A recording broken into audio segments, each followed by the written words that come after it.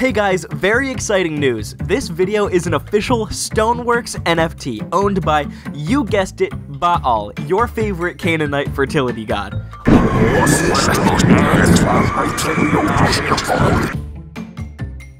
The foundation of almost all settled civilization is agriculture.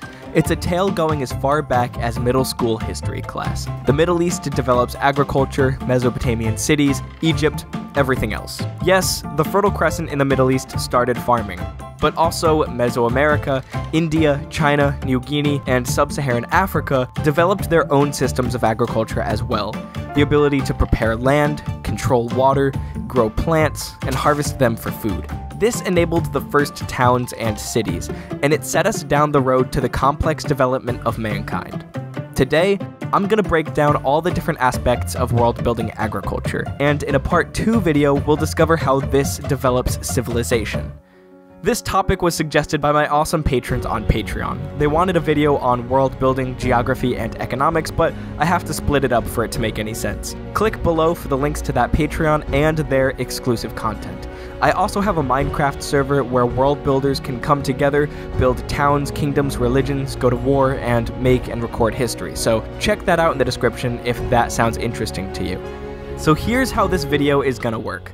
I'm gonna go through the parts of world building agriculture, and once in a while, if I say a factoid or a sentence that you either find interesting or boring, pause this video and be like, nah, in the world that I'm creating, it works like this. Example, if I said that plants get their nutrients through their roots, nah. Maybe some have slow moving appendages that crawl around, drilling into other plants and into the ground, and they suck all the nutrients out that way.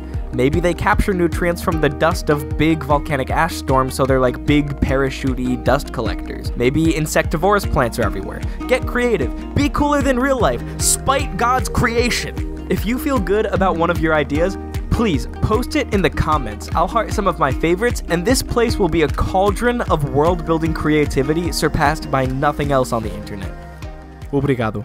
Okay, the way that agriculture works consists of us humans tending to three things plants, soil, and water. Through each of these, I want to talk about how biomes, human labor, and planting techniques all bring about different systems of agriculture. So let's go back to the very start of all of this. In the beginning, the Void subscribed to Stoneworks world building, so the Big Bang happened. After a few years, mankind evolved as hunter gatherer bands, tribes of 15 to 50 people that would prey on animals and harvest wild plants around them where they set up camp. Over time, after the resources in their camp area were depleted, tribes would migrate to a nearby area and settle another camp. So many tribes would have this seasonal rotation of camps that they go through, following where the animals and plants are during that season. However, tribes could settle in one area if they had secure food sources there. A good fishing source or a superabundant environment would do the trick. The Natufian culture in the Levant is the primary example of this, as they may have settled and then lived off of the abundant wild grains around them, which they would have started working themselves. This archaeology is controversial though. In different areas, there's many ways that agriculture may have started. Some of these hunter gatherer tribes may have purposefully started helping the plants around their camp grow as a stable food source in gardens. Maybe some specialized, small scale gardens that were made of plants that they could process to get drunk off of. There's a theory that in Mesoamerica, they started farming the teosinte plant in order to get lots of good textile fibers, but their selection for good starchy seeds created edible corn. Whichever theory is true for whatever area, the transition from gathering to agriculturing would have been a slow process where people start out developing small, wild gardens and slowly making them larger, more labor intensive, and systematic. During these transitional periods, it's likely that societies would have had mixed economies. It would have been different modes for food, hunting, gathering, maybe fishing and collecting shellfish, and agriculture. It was still possible for agriculture to take place even if people were mobile. It would just have to be smaller seasonal farms and gardens that were more communal and less labor intensive. If you look at the case of the eastern woodland Native Americans, their economies became quite mixed in this way that I'm describing, and it would have a lot of different trade interactions to keep a whole stable society going. Now, I want to stress agriculture is not inherently better than hunting and gathering. In fact, it's a lot more labor intensive to farm, and early agriculturalists were, on average, weaker and less healthy than their foraging counterparts. In the next video, I'll talk more about this and why agriculture eventually dominated. Just know that it's not going to be instantly adopted all around, because being a farm worker is a lot less fun than being a hunter gatherer. One of my life goals is to reject society and head out into the great American wild to live off of berries, bear meat, and socialized healthcare. A man can dream, can't he? Okay, okay. Let's talk about plants. In this process of getting large scale agriculture, over hundreds and thousands of years, you'll get artificial selection that turns wheat from this to this, sorghum from this to this, and corn from this to, oh my god, this. Let's talk about the plants. Categorization for plant foods is important but kind of ridiculous. The distinction between a fruit, grain, and vegetable is in what part of the plant you eat fruits are the plant's fleshy coatings of their seeds, often to make them appealing to animals so that they'll eat and then disperse the seeds. Nuts are the same thing. Grains are themselves seeds to eat, often covered in a little husk or a shell. If these seeds come from grasses, which some of our most important crops do, they're called cereals. Vegetables broadly encapsulate everything else. There's the starchy ground roots, like potatoes, leaves, like lettuce, the leaf bundles, like of artichokes or leeks, celery stems, ginger roots, cinnamon bark. I think you get it. Any part of a plant can be potentially useful to humans, particularly as a food. This is a big thing that makes plants worth cultivating. Now, this English system of fruits, grains, and vegetables is terrible. Why would a corn be considered a vegetable? Why would tomatoes be a vegetable? Stupid shit. If I were to squirt ketchup all over my body, would you call me a fruit or a vegetable? A fruit!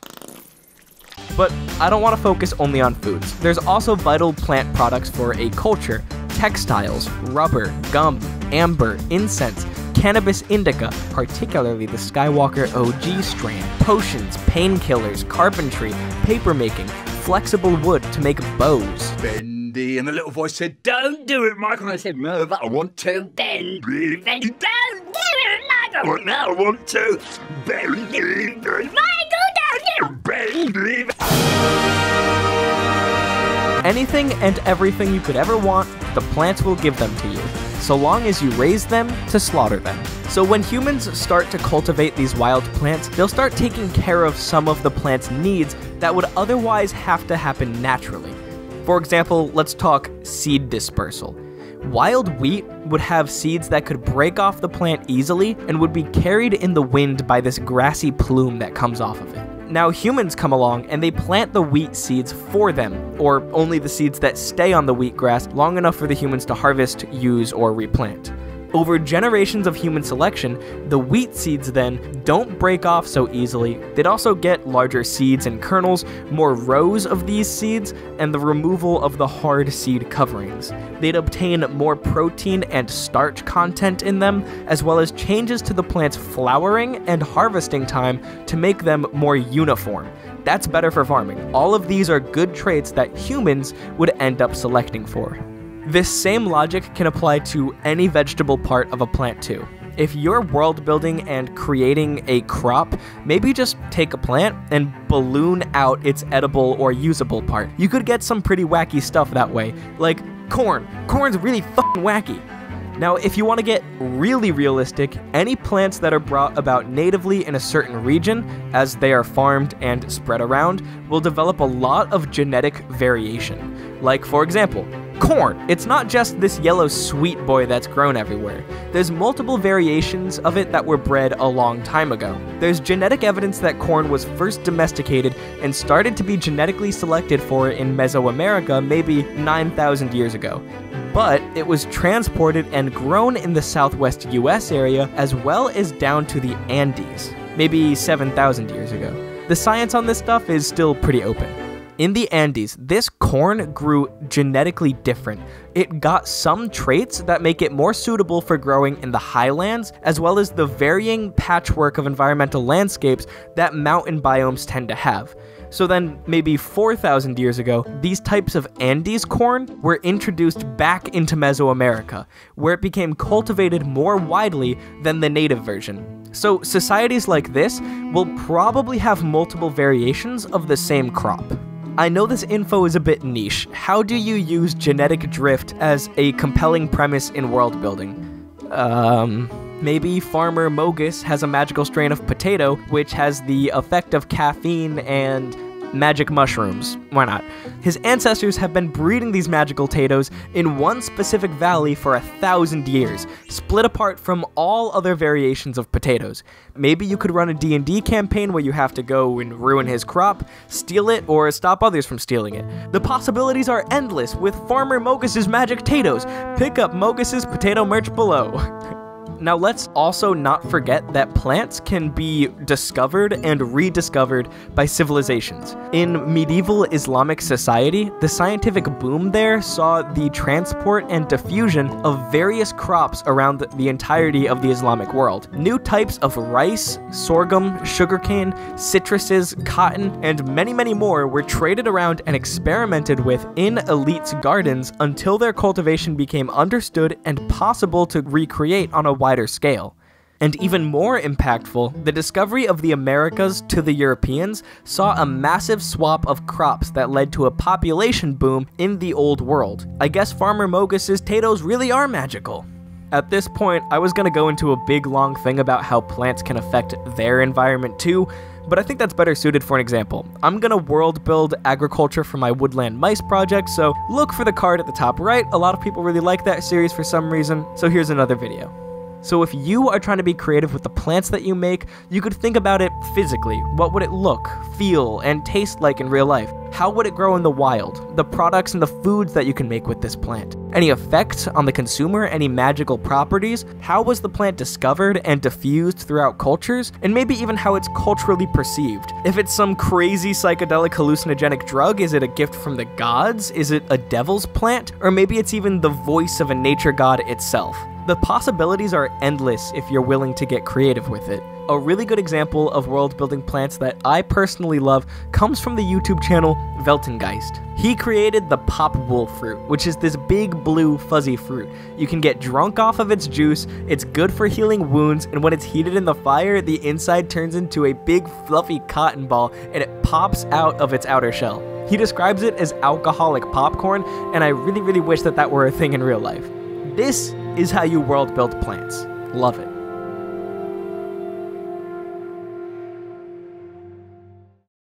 Now let's talk about this thing that I guzzle two gallons of every single day water. Oftentimes, the main short term limiting factor to crop growth is water. Plants need water because it's necessary for photosynthesis and building the plant's tissues, but different plants are suited to different environments with varying levels of water. The most basic way to get water is rain. It falls from the sky, soaks in the ground, and plants' roots take it in. If you're the type of person who likes to figure out the weather patterns in your world building, 100% go for it here. Having predictable rains and temperatures is massive for farming because you won't have to worry as much about droughts, flooding, or cold snaps during the growing season. The problem is, most parts of the world don't experience super predictable rain patterns, so famines occur or agriculture can't take root at all. There are preventative measures against sporadic rain patterns like this. For example, covering the ground with certain mulch that keeps the moisture in and stops evaporation, or, better yet, irrigation. If you have a big river at your disposal, odds are that that's going to be a pretty secure source of water. Or hell, even if it's just a melting glacier in the mountains, it'll work for a while. To irrigate something, you gotta dig canals and tunnels from the water source into the fields so that it maintains a good water level for the crops. This requires massive amounts of labor, especially if the crops require massive amounts of water. We will talk about rice in a bit. Irrigation puts the crops at the whims of the water source, though, so say that a river floods or the glacier doesn't melt for that season, your crops are going to be shit out of luck. Subsurface aquifers are also full of water and nutrient minerals picked up from the rocks around them. The problem with this is that it takes a lot of technology or labor to get water from way down in the ground to the surface. A medieval style well is not going to be able to pull enough water up to feed a whole field, unless you've got some magic abracadabra aquafina la bamba at your fingertips. For a modern example, tons of agriculture in the American Great Plains is fed by this huge aquifer beneath it. The problem is, it's kind of running out of water, so there's another panic attack for today. You could also take a page out of the Aztecs book. The city of Tenochtitlan was founded on a small island with marshy swamplands around it in the middle of a lake. They'd construct these farm plots that were staked into the shallow lake bed and filled in to be planted on. This gave the plots constant water and fresh nutrients that was floating within the water of the lake. These plots, called chinampas, were and are very productive. The drawbacks of this were that if the lake's water levels rose too much, again, the crops would be flooded out, and that portion of the lake was right next to a larger section of brackish water. The salt in this brackish water can really hinder growing. Both of these problems, though, were solved by state created dikes that separated the larger Lake Texcoco into various sections. But plants don't always need that much water. In the video that I made about deserts, I go over how plants survive in dry environments, and maybe there could be a crop that works like this and doesn't take too much harvesting to be economically viable. On the other end of the spectrum, rice grows best in shallow water with super saturated soil under it. This means that to farm rice, you're basically making controlled fields of pools of water, rice paddies. This takes tons of labor and tons of engineering knowledge to create. More on that labor later.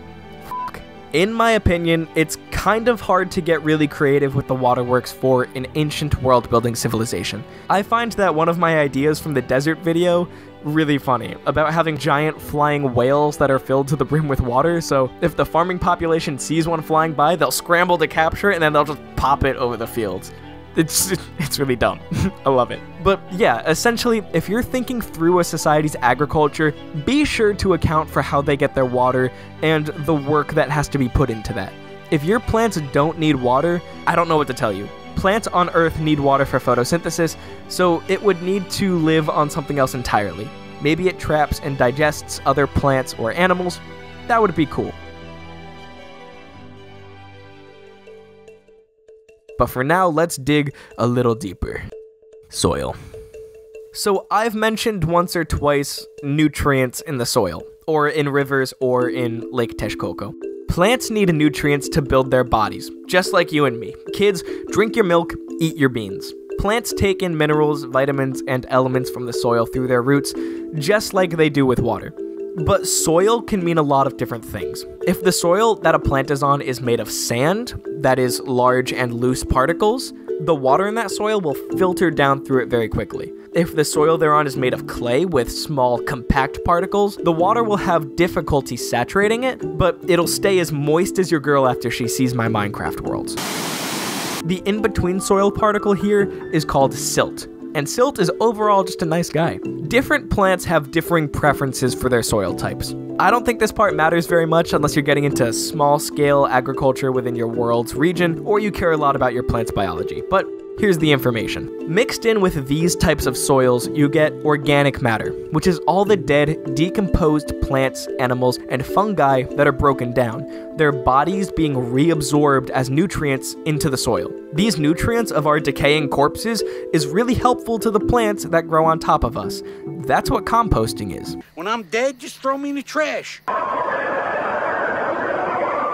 It's all of that organic matter from what you eat and throw out so that you can put it in a garden and replenish the soil nutrients. So, if you're starting a farm, what makes good soil to be had? Soil that comes from volcanic ash, called andesol, is really fertile. Volcanic ash and rock are full of minerals from the underground, which, when it settles into the soil, plants benefit a lot from. The island of Sicily was a major breadbasket of the Mediterranean throughout a lot of history. And not a coincidence, that area has a lot of highly active volcanoes. So, regions around active volcanoes will have good gray black soils that you can make a lot of bread from, just at the expense of a catastrophic eruption every once in a while.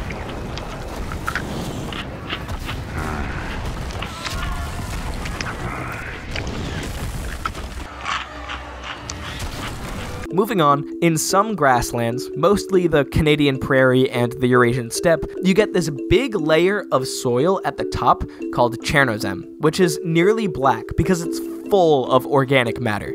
Part of the reason for this, due to specific seasonal temperatures, is that the animals that live here don't mix the top soil layers very much with the bottom soil layers, but they do mix the top soils around horizontally. The soil becomes more consistent and spread out throughout the top layer. So you get generation after generation of grasses dying on top of it, the nutrients decomposing into the soil, which are then spread out and collectively create an area that's really fertile, especially for the grasses that live on top of it. So that's good, organically rich soil to use. The only problem in farming these areas is that those specific grasses have roots that keep the soil down from the high prairie winds. So, if you replace the Chad native grasses with virgin European winter wheat, you'll either have to implement sustainable farming practices that keep the soil down, or you'll get a fucking dust bowl like America did 90 years ago. Great job, guys. Really showed those natives how to do it. A plus. Should have watched Stoneworks. So, volcanic regions and prairies are good biomes for soil, with certain drawbacks. In contrast to this, rainforests and jungles end up having terrible soil. These biomes have such dense plant cover that basically all the nutrients from the soil are already taken by the plants there. However, when something dies or breaks off, the rainforest has armies of decomposers that erode the dead bodies back into nutrients in the ground, which those nutrients are then quickly used up by something growing nearby or something new. To fulfill my little environmental activism for the day, when you, say, cut down a bunch of trees in the Amazon rainforest and then ship them overseas, the cycle there is broken and that plot of land has no more nutrients in it. You cannot replant there. However, there are ways that agriculturalists deal with these poor soils that we'll talk about in just a little bit. Terra preta? Slash and burn? Oh my god, I just peed my pants a little bit. I need some new pants. Well, just have a bunch of them ready for me. I need a bunch of dry pants. Give me a towel too, please. So when you do agriculture, you are using up the nutrients in that soil. How can you, as a farmer, then retain good farm yields on the same plot of land for generations? You need something that deposits nutrients into the soil. Nature does this a lot. It moves massive amounts of nutrient and mineral rich particles and deposits them on different lands. If you have a river that winds through the hills, the river will erode the banks and pick up particle sediments in its water, which then moves with the water downstream. The particles could build up in or alongside the river, which creates a sandbar or builds up a new riverbank, or the particles could run all the way out to the sea. That's why the Mississippi River Delta, for example, looks like this. All that cloudy muck water is actually nutrient rich sediment. So nutrient rich that it actually kills a bunch of the wildlife there. Yeah, it's kind of complicated. More importantly, though, these nutrient and mineral rich particles could also be carried out onto the land if the river floods. Obviously, flooding is usually dangerous. It kills people and it destroys crops, but not always. That's why I like the Nile River. The Nile comparatively does not carry that much silt in its waters, but its floods are predictable each year and they are calm. The Egyptians could avoid planting until after the floods, and when they did plant, the land surrounding the river would always have its nutrients replenished by the river's sediment. So, good and reliable harvests all around. This whole process is called silt deposition, essentially nature's way of fertilizing. And it can happen with anything that carries little particles water, earth, wind, fire, body, yeah. Remember. Now, there's also an artificial way to replenish nutrients. It's called fertilizer. A lot of the times, that just means taking the animal poops and putting that onto the crop fields. Additionally, you could use compost or, or my favorite, in the Amazon, some native civilizations would make terra preta. They'd take charcoal, bones, compost, broken pottery, and manure, and they'd mix that with their farm soil. This explains how the Marajoara culture agriculturally grew to have 100,000 people, all while having poor rainforest soils. Another way that works with poor forest soils is this you chop everything down and then you burn it. That's slash and burn, baby! The ash that goes into the ground fertilizes the soil with the nutrients from the destroyed plants. You can farm on a slash and burn field for a few years after this, but afterwards, you need to let it regenerate its forest. So it's cyclical, but it's not good for the intensive agriculture that you need to support dense city populations, generally. Another way to maximize your output comes from what's called crop rotation. Different crops eat up different nutrients in the soil. For example, corn uses a lot of nitrogen. So after you harvest the corn and the growing season is over, you may be able to plant some beans. Since beans and other legumes actively replenish the soil's nitrogen, your next corn crop will grow better. You could either plant them in a sequence like this, a literal crop rotation, or you could plant them all together. For those of you who've heard of the Three Sisters crops, that's corn, squash, and beans. This is that. Native North Americans planted these on top of each other because each plant's soil fixing complemented the others corn, squash, and beans. And finally, I'm in the mood to do a rapid fire round. Boom! Winds blow particles from the Sahara to the Caribbean islands, which fertilize the soil there. Bam, that's good for agriculture. Soil at the North and South Poles freeze in the winter, and in the summer, just the surface soil unfreezes and it gets really soggy. Bam, bad for agriculture. Deserts don't have enough organic material or structure to create good soils. Cue sand and dust storms. Bam, bad for agar.io. If it rains and evaporates and rains and evaporates over and over and over and over again onto a single plot of land, oftentimes the salts in those rains will build up and make the soil salty, which makes it harder for the plants to absorb water. Bam, bad for agreeing tincture. Rocky soils, like in the mountains, don't allow plants' roots to penetrate or take nutrients. This is why the Incas have such an art of determining which soils are good for planting. It literally features in one of their creation myths. The progenitor of the Incas sticks a magic golden rod that detects soil fertility into the ground, and then it's so fertile that it sinks down into it. They decide that's where they're gonna settle and build a temple. Magic golden rods, bam, good for agglutinators. Mountain soil, bam, bad for granulocytosis. Basically put, you want your soils to have something that replenishes its nutrients by moving particles onto your fields, but you don't want it so that the ground doesn't let the plants take root or let it suck up water and nutrients, or it isn't destroyed or rotted by having the wrong soil conditions.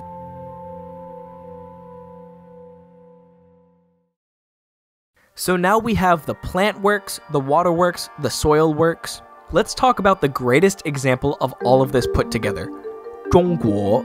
China is a massive place with a massive amount of people. Most all the agriculture takes place on this, the eastern side, because the west is drier and more mountainous. Now, this can be fairly split into two more sections the north and south of the Yangtze River. The north is colder, but it also has the big, flat North China Plain.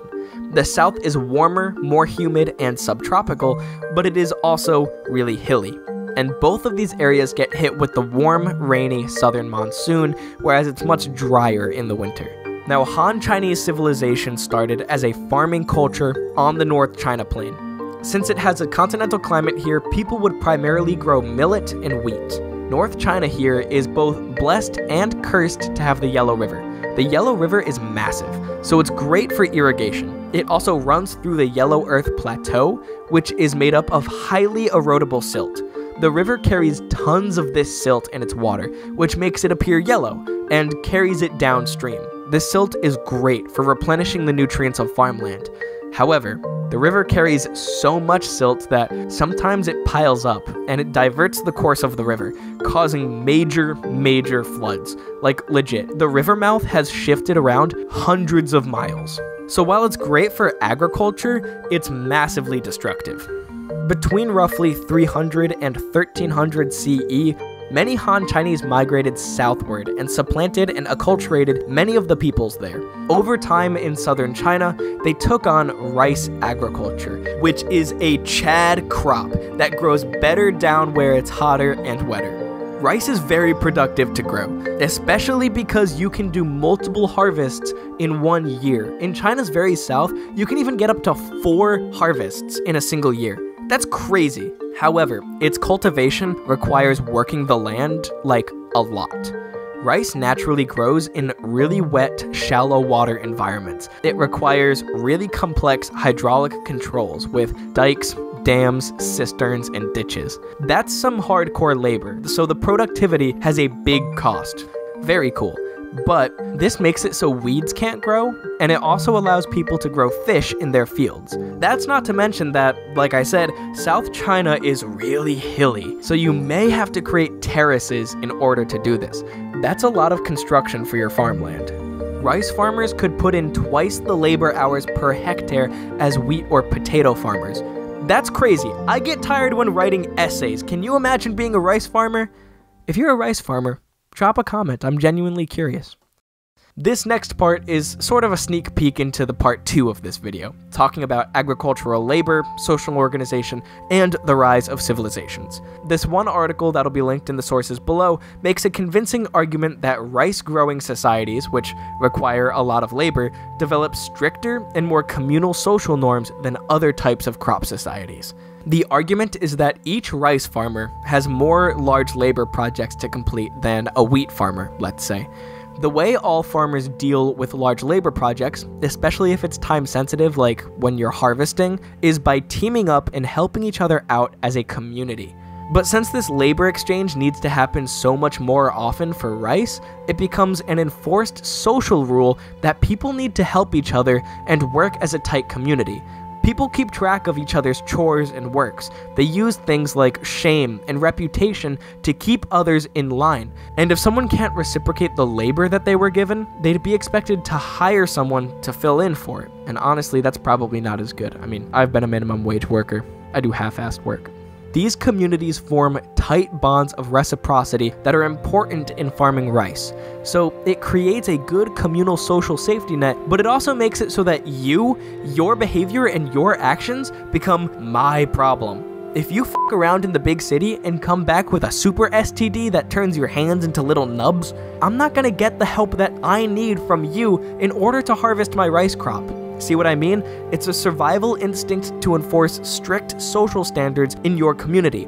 This study records that rice growing cultures predicted tight social norms in multiple different countries and societies. And this labor social norm connection is, in my opinion, a great explanation for that. This is how to world build agriculture from the ground up. If you want to see me put the logic of this into my world building Secret Lakes project, you can click this video to the side or go onto my channel and find it. And like I said, I'll eventually put out a part 2 about how agriculture creates social organization and shapes civilization. If that's out by the time you are watching this, again, you can find the videos in the same way. I'm Stony. Thank you for watching. Drink your milk, eat Farmer Mogus's magic tatoes. Peace out. Thank you to my awesome patrons again. They suggested this series of world building, economics, and geography. So if you want to be a part of that and maybe get some exclusive content, look in the description and the comments. It's a single dollar and you're helping out for good educational content. So thank you to the greats out there. XIV, Alex Mitchell, Kenny Vetter, Bag Offerocini, Ben McFarlane, Ben Snow, Ian Openshaw, RC Ace, Rowan DeWitt, Travis, Tyler Simpson, William Price, Prezi Bizarra, Sacha Brennick, Varys, and Rift Ranger. Thank you all so much for your support of this channel. It's amazing, and I couldn't talk about world building, economics, and geography if you hadn't been here to support this. So thank you so much, and I will see you on the next video.